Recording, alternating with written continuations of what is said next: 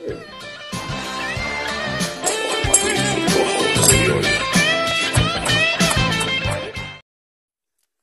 niin, Laapotti moro. Tehdään pikku, pikku yöpala sandwichit, rupes sen verran huikoon. Elikkäs löytyy tota, vähän katkarapui, tai siis mitä nyt tehdään yleensä, niin tehdään tota tollanen vähän piripiri katkarapu tyylinen leipä, pikku, pikku twistillä. Ja tota, nyt mulla on tossa tota uohejuustoa ja ruohosipuli, öljyä, pippuri, valkosipuli, chili ja vähän sibalia. Ja tota, ruvetaan tosta pyörittää, niin eli tota, tää iänikuinen puhelimen asettelu tässä ensin. Täällä on vähän tää öljynkaa, ettei nyt ei laiteta liikaa. Ja tota, mutta kun tolleen runsaasti kuitenkin. Ja, ja tota, laitetaan sinne saman tien tosta vähän chili ja valkochibali pikkuhiljaa tulemaan ja ja, ja. Just voisi laittaa tuon.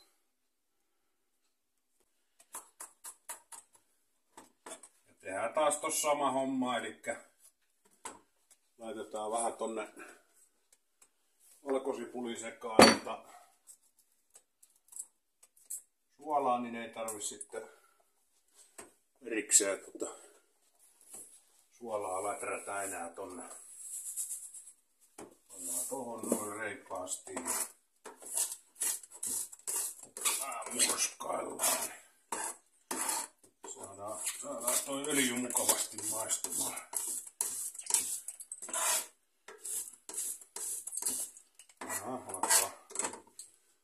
Kuumenee, pannaan pikkusen pienemmälle, ei viitti polttaa näin. Laitetaan tuo valkosipuli sinne ja tota... Mulla on täällä nyt itse asiassa, ja painan tuolla morttelilla noin niin mulla on vähän tää musta pippuri myöskin seassa. Niin... Se on niinku normaali piripiri verrattuna, niin, niin, niin tää tulee nyt vähän musta pippuri ja, ja tota, sipulia vielä lisäksi. Normaalisti tommosessa piripirissä ei oo kuin sitä chiliä ja valkosipulia. Ja... Noin. Tulee tuo on aina huumaa tuo tuoksu, mikä tosta tulee. Vedetään aika pieneksi tuo sipuli.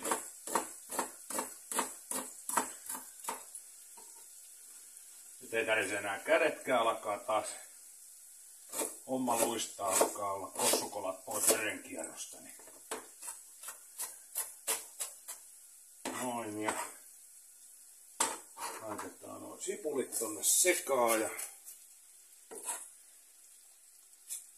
noin. Voisi tehdä vaikka sillä viisi, että tota, otetaan tosta kastetaan pikkusen tonne valkosipuliöljyä ja pannaan siitä suoraan tuohon pannulle. Tarvi sen enempää ton rasvankaa sitten läträtä. Noin ja yksi vielä tosta ja jees ja antaa niitten tulla siinä ja tota Vittu typerän muotoisen pannun ostanut, kun ei tää mikään mahu järkevästi. No katsotaan, ehkä ne siitä tulee ja nyt ennen kuin laitetaan ravut tonne sekaan, niin pannaan täysille toi. Tässä on sen verran nestettä ja kaikkea, että tää vähän jäähyttää tota, niin painetaan ne tonne sekaan ja nyt ei kauhean kauan niitä keitellä. Kakkaravusta ne menee semmoseksi semmoseksi saatana pieneksi nihkeeksi pallukaksi, niin sit niitä ei kyllä ne ei ole hyviä sit siinä vaiheessa enää. Ja otetaan vähän tosta vielä koristelua. Tässä voi samalla vähän silputella tuota ruohosipulia ja hyvin yksinkertainen helppo pikku, pikku iltasnäkki sitten tehdä tällainen näin. Ei sieltä halvimmasta päästä, mutta ei tää nyt loppupeleissä niin, niin jumalattoman kalliskaan ole. Että katkaravut nyt tietty on vähän arvokkaita, mutta tämä kaikki muuhan nyt on suhteellisen, suhteellisen edullista. Ja tota, käännetään tuossa leivät.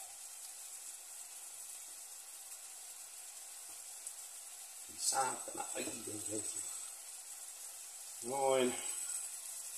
Antaa heidän tulla siitä ja tota...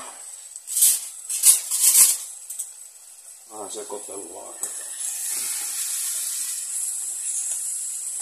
Niin kuin näkyy, niin aika hyvin imasee tämän koko öljyn täällä, niin kuin on tarkoituskin, kun laitetaan tuohon leivän päälle, että ei ole tarkoitus nyt lillutella noita leipiä niin kuin normaalisti piripirissä olisi. Noin. Nyt pidetään ne vaan tuossa lämpöisenä. Pannaan vaikka ihan kokonaan, kokonaan pois päältä. Ja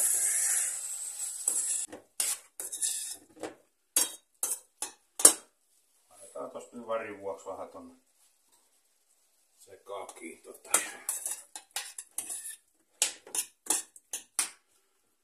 Ui ui kun näyttää hyvältä. Mitäs leivät sanoo? Alkaa tulee. Mutta hyvä, ai saatana, vittu. Tehdään tämmösiä vähän rapsakoita.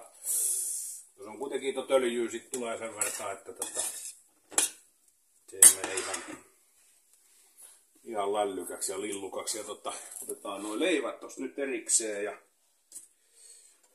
perkele Noin ja sitten paistellaan paistellaan toi shavery, eli vuohenjuustoja.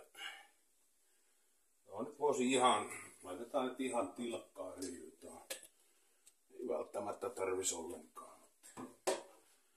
Pannaan nyt ihan pikkusen ja vähän, vähän pyöritellään noin. Ja,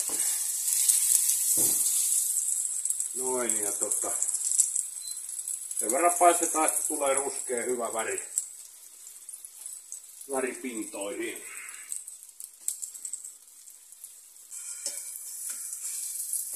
Ai saatana, kun on hienon näköinen pinta. Ui, ui, ui, ui, ui. Ja tulee taas niin hyvän näköistä pöperöä, että ei mitään järkeä.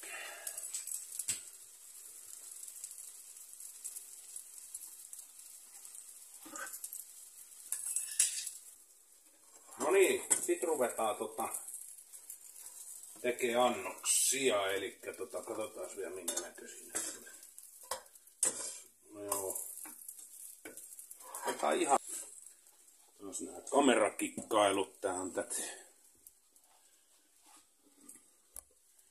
Kyllä tää tästä joka kerta pikkusen kehittyy, että tota, älkää murehtiko siellä. Jonain päivää voi tulla jopa ihan, ihan katottavia jaksoja. Että tota. Kunhan nyt taas muistutellaan siitä tilaamisesta vaan ja saa kommentoida, ne on aina, aina kivoja lukea ja tota, ehdotuksia ja kaikkea saa laittaa, mitä haluaisi nähdä. Ja alkaa sellainen kärtsä nousee, että ruvetaan, ruvetaan laittaa tota, kasaatet hommaa ja painetaan tosta reilusti valko, kun katkarapuu per leipä.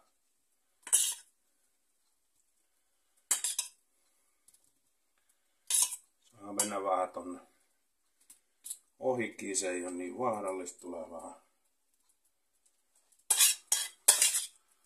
vähän tuollaista tuohon noin. Ja tota.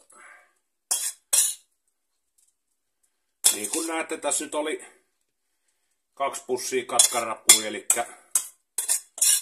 Jos nyt haluaa tehdä tällaisen vähän reilumman, niin se on pussi per lärvi. Ja sitten jos haluaa vähän pihistellä, niin kyllä tästä yhdestä pussistakin riittää kahdelle. Mutta nyt tehdään näin ja... No ja tota... Sitten painetaan tosta vuohenjuustokiekot vielä tuohon päälle. Noin.